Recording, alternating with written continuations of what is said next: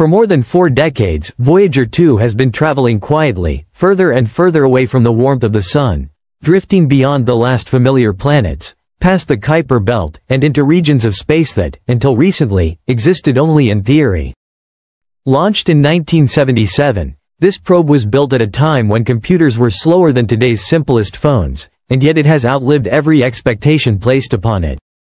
It was supposed to fade into silence, its signal swallowed by distance, its instruments falling one by one into dormancy.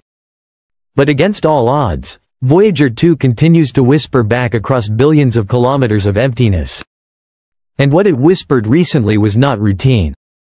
It was something that forced scientists to pause, to reevaluate everything they thought they knew. Voyager 2 had crossed into a new realm, and in doing so, it confirmed a truth humanity had always feared but rarely dared to articulate. The edge of our solar system is not a blur, it is a wall. And beyond it, something changes. This edge is known as the heliopause, the point where the sun's influence ends and the interstellar medium begins. For decades, astronomers imagined this transition as something gentle, like mist dissolving into air.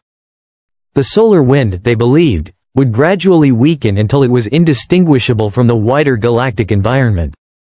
But when Voyager 2 reached this boundary, the data it returned shattered those assumptions. The change was not smooth, it was sudden, as though the spacecraft had punched through a membrane.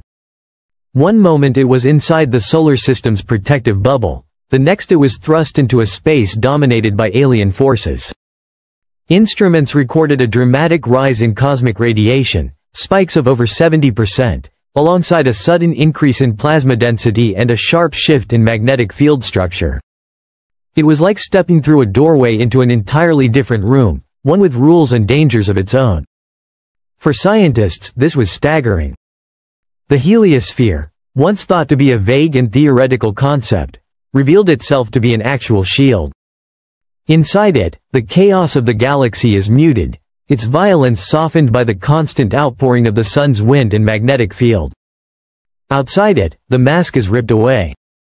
Voyager 2 was no longer coasting through a calm emptiness. It was entering a storm. The galaxy, it turned out, is not a passive backdrop. It is active, restless, and filled with hazards we are only beginning to measure. And the sharpness of that transition suggested that our home system isn't simply floating aimlessly in space. It is wrapped in a protective bubble that separates us from forces we still don't understand. What unsettled researchers even more was the nature of this barrier. It was not a static shell. Voyager 2's data, along with earlier results from Voyager 1, revealed that the heliosphere breathes. Its boundaries expand and contract in rhythm with the Sun's 11-year activity cycle.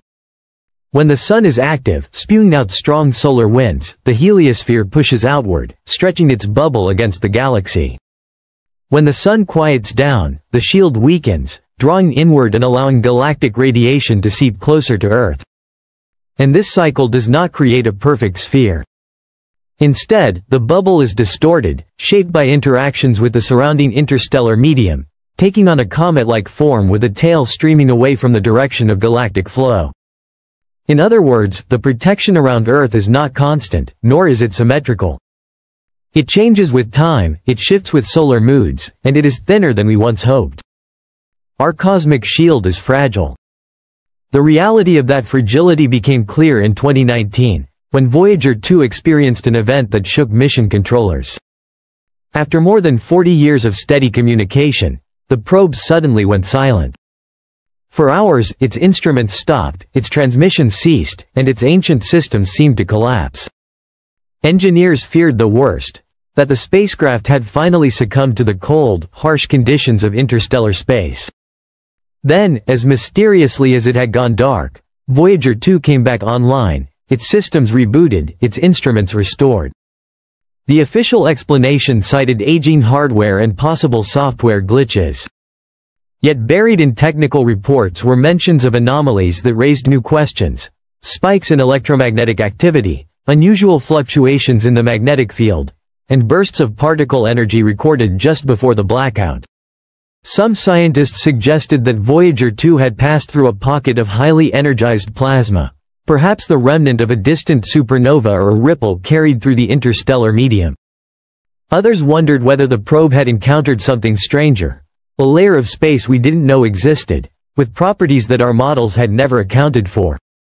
If that was the case, then what happened to Voyager 2 was not a failure of its systems. It was a reaction to the unknown. The more Voyager 2 traveled, the clearer it became that interstellar space is not a calm void, but a turbulent ocean.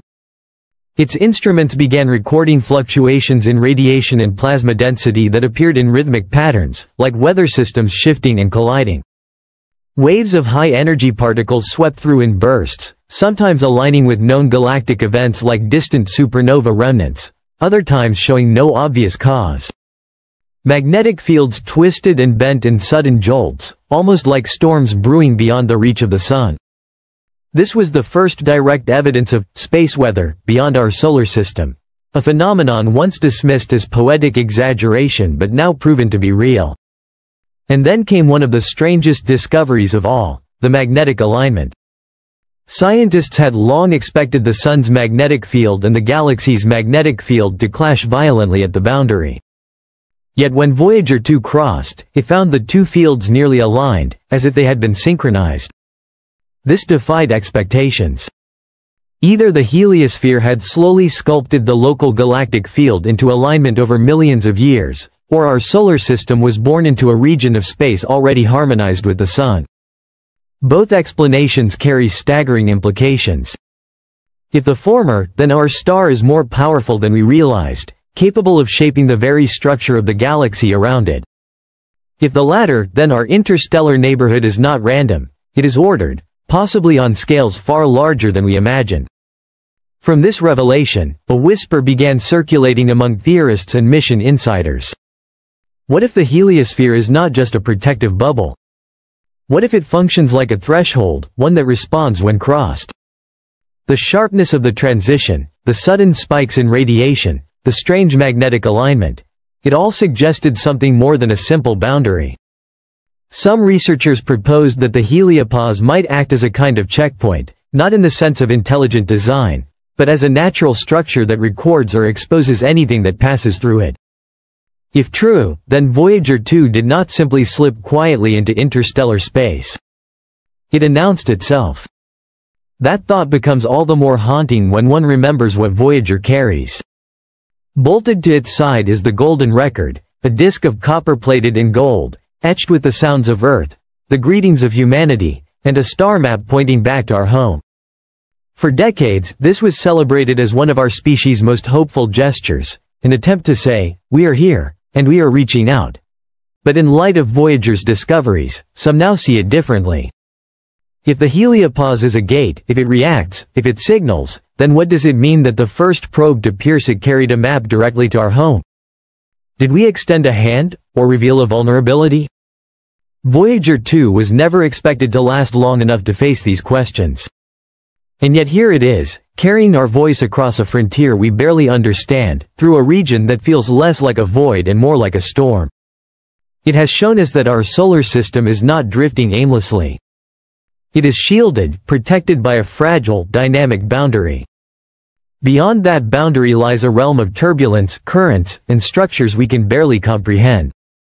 The heliosphere is not just a shell of plasma, it is a threshold, sharp, reactive, and alive. And Voyager 2 has crossed it. Now, decades after its launch, the spacecraft continues to drift, deeper into the unknown. What it has already taught us is profound. The galaxy beyond is not silent.